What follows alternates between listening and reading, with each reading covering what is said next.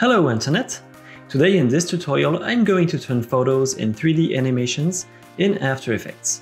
We're going to have fun on famous movie star pictures by using the last updated version of Volumax 6.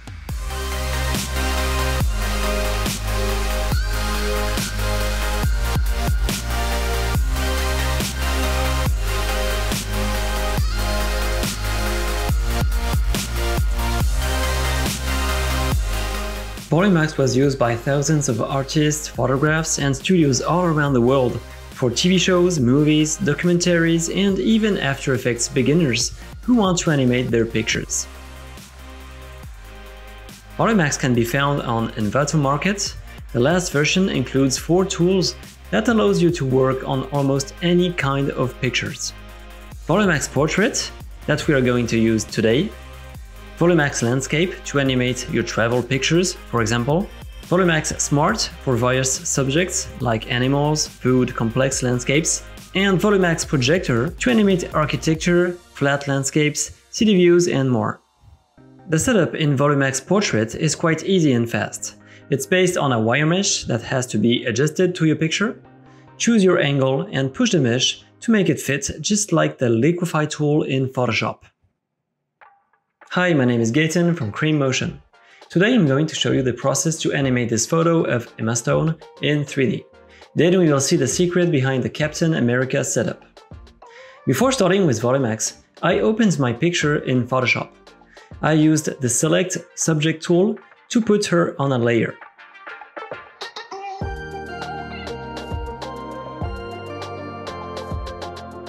Okay, I'm gonna get the selection with Ctrl click on the layer and hide it. I'm now in the background. I'm going to expand the selection. Something like 40 pixels is okay in this case. And I'm going to clean a little bit the selection around the hair.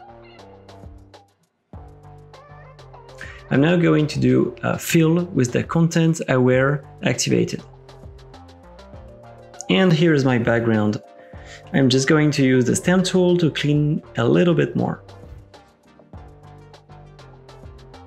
And now I'm ready to save my PSD file to import it in After Effects in Volumax.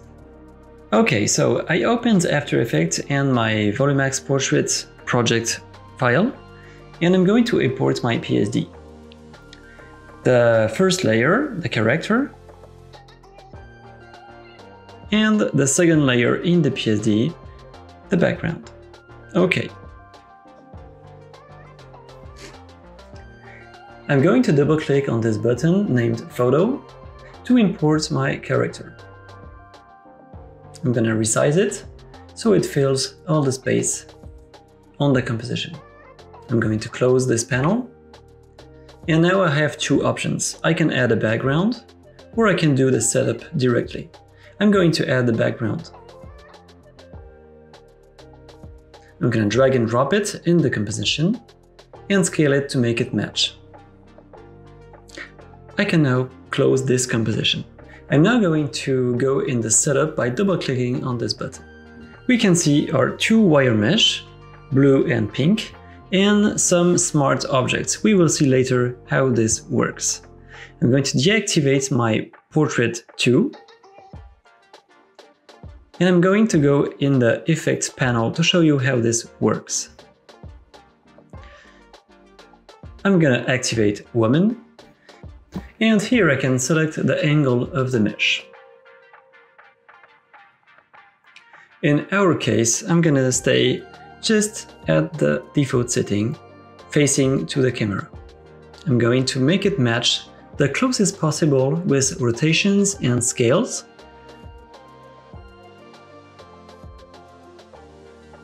I'm now going to adjust my 3D mesh by using this tool and by pushing the wire mesh on my picture.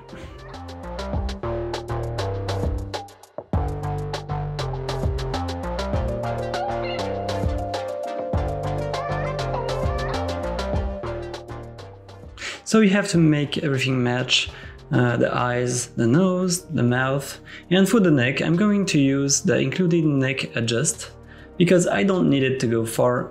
In this case we will use the smart objects.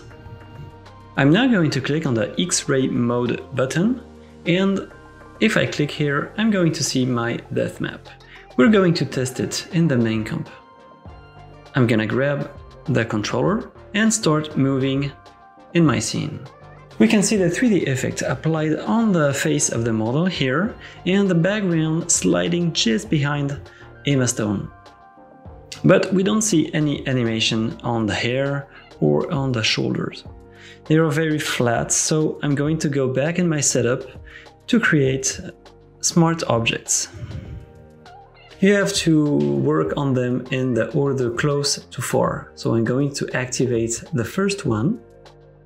I'm going to use the pen tool and start drawing the hair in the close position. That means I'm going to draw the closest object in my scene.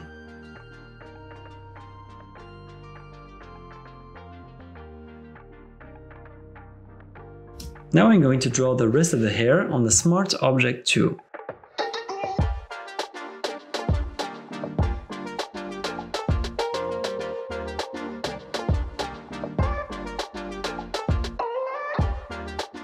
So if I activate Smart Object 1 and Smart Object 2, I can see I have drawn all the hair.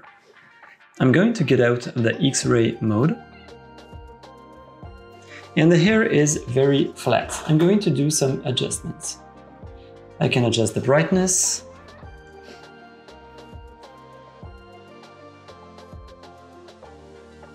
I can adjust the 3D position of the object meaning it's going to go behind or in the middle of the 3D portrait. You can see it better like this.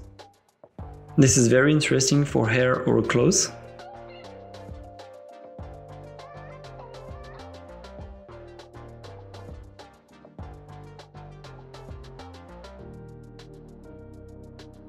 I can now volumize my smart masks and add some detail based on the picture. That way, it's gonna be more realistic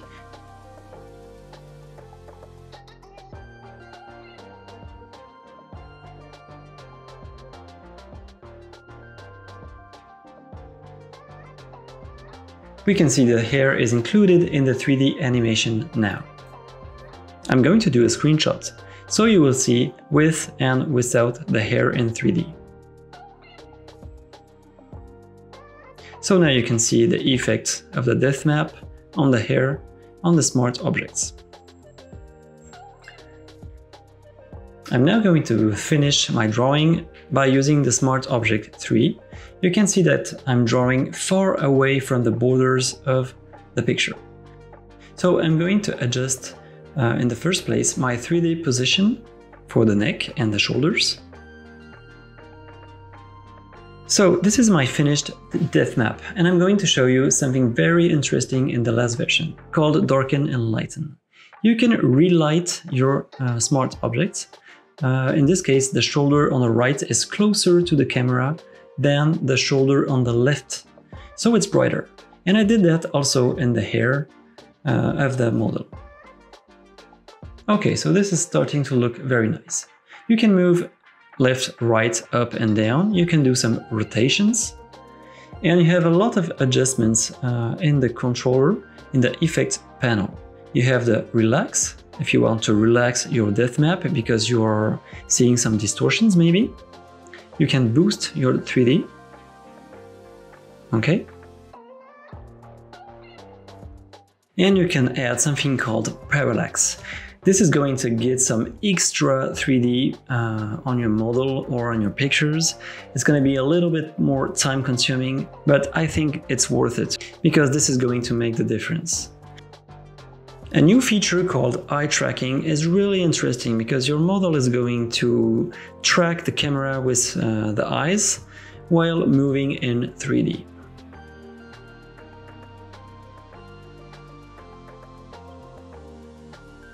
You can do zoom parallax using the same technique than the add parallax FX uh, to zoom in your model um, in 3D.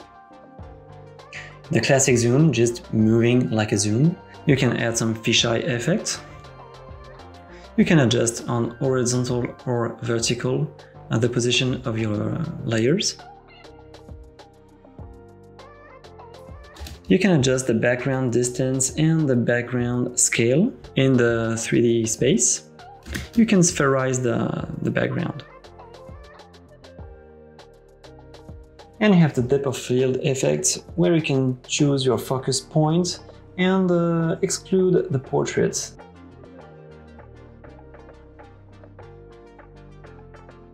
Okay, so we're going to do an animation here. At the frame 0, I'm going to put my controller on the left here. I'm going to go at 3 seconds and simply move my controller on the right, just like this. I'm gonna add a little bit of a parallax for extra 3D and do a preview. Actually, my viewport is set in one quarter quality.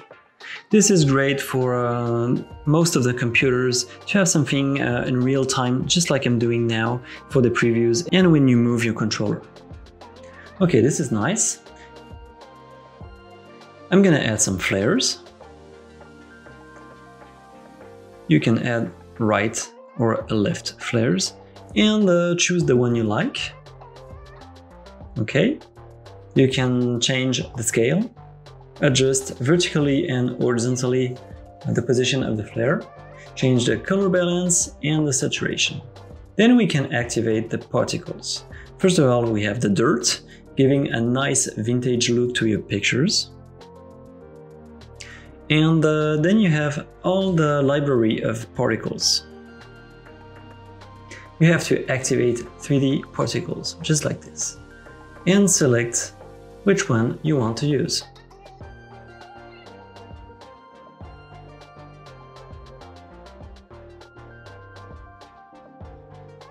You can also import your custom particle uh, to replace the smiley here. I'm going to choose this one. You can change the density if you want less or more particles in your scene.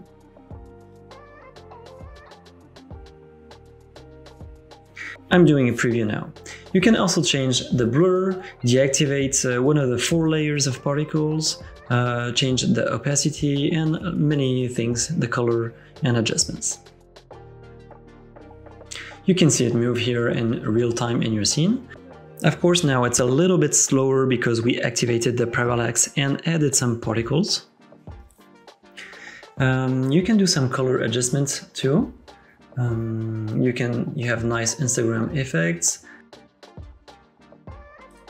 You can change exposure, uh, the gamma, the contrast, saturation. You can protect uh, a zone. If you have a lot of distortion, you can just uh, draw a protect zone.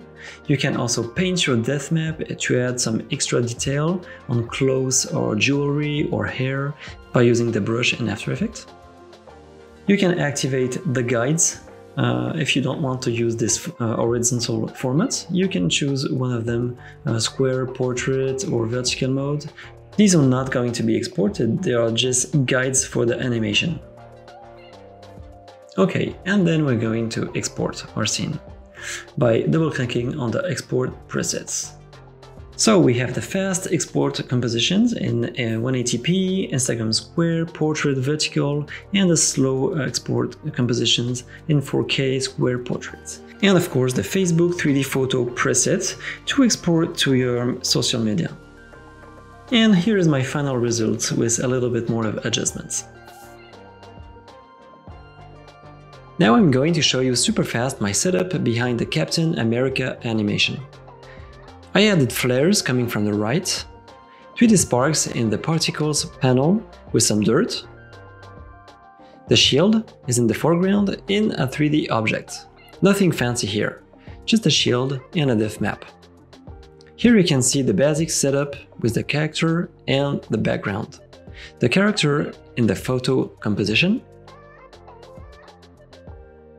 And here is the background in the background composition. Let's go take a look at the portrait setup. Here is my wire mesh adjusted and my smart objects. I could have used less objects, but I wanted to push the limits with something very accurate here. Let's take a look at the depth map. For the helmet, I used a simple trick. I just created a white solid at the top with a mask and low opacity to create the volume above the face. Don't forget that we are still in After Effects. You can add your own effects and layers. Now I'm going to show you how I exported in 1080p. I opened the Adobe Media Encoder. In the composition panel, I prefer using the shortcut Ctrl Alt M. Usually, I choose the H264 or H265 codec. The YouTube 1080p is perfect in this case. Then I choose a file name.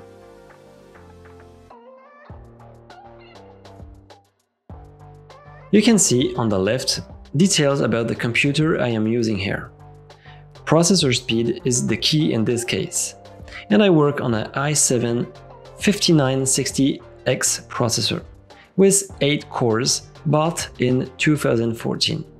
A decent machine, but not the fastest on the market today. This render in Full HD was done in 2 minutes and 35 seconds. Pretty fast. Just before ending this video, here is an honest comparison between Volumax and a famous competitor struggling in the viewports at the same resolution, and inaccurate with depth map creation. Volumax 6 is the fastest and most accurate 3D photo animator on the market. Don't forget to subscribe to be informed of the coming videos about Volumax 3D Photo Animator. Thank you for watching.